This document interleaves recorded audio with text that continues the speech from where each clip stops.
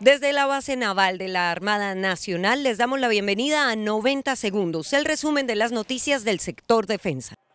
A mil millones de pesos por cada uno fue elevada la recompensa por información que conduzca a la captura de alias Majin y alias Marlon luego de los hechos de orden público ocurridos en los últimos días en Cauca.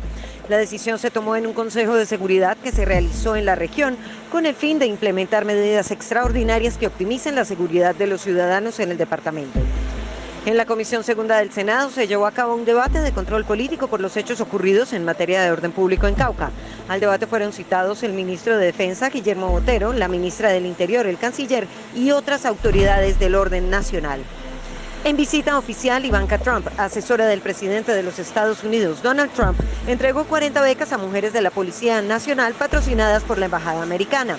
Estas mujeres podrán formarse en asuntos internacionales de narcóticos y aplicación de la ley. Finalmente, en la ciudad de Bucaramanga, el ministro Guillermo Botero encabezó un consejo de seguridad con la presencia de autoridades civiles y militares de la región. El fortalecimiento de la seguridad es un compromiso de todos los ciudadanos.